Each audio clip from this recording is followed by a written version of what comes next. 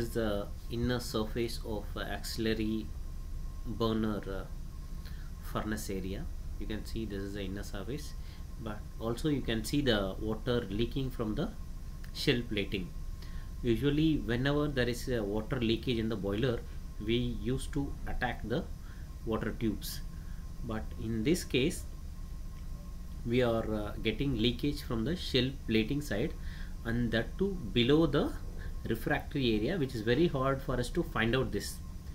So finally we somehow managed to find out the leakage. You can see multiple places there are a lot many uh, leak and water is spraying out.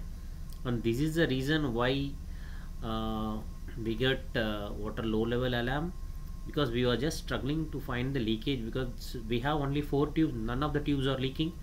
And finally we managed to find this leakage so this leakage happens because of uh, poor boiler water treatment that is a major cost maybe so if you don't treat the boiler water in a good way then we have to face uh,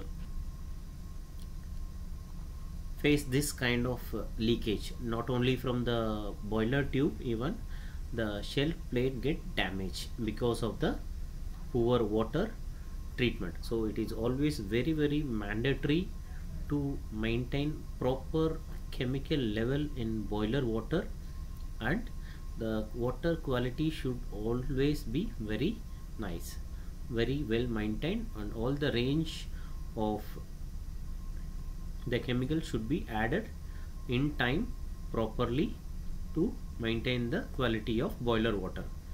So we had uh, marked the area and now the area has been made out to do the welding.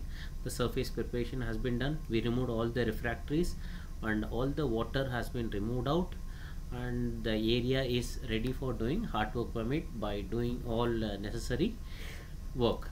Like we need to ventilate the area we need to remove the water we need to uh, properly ensure there is the hot water permit is totally hot work permit is totally done and followed. So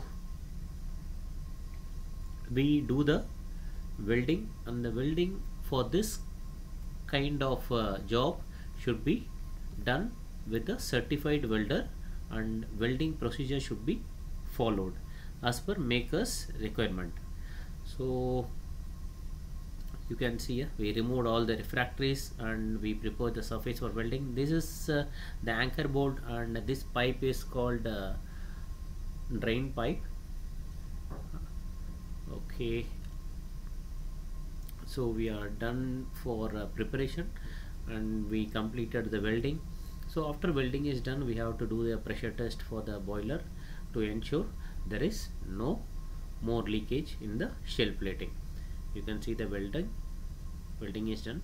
So this video is just for a informative video. So I believe this video must have given you some information about uh, boiler leakage and how to counter attack the leakage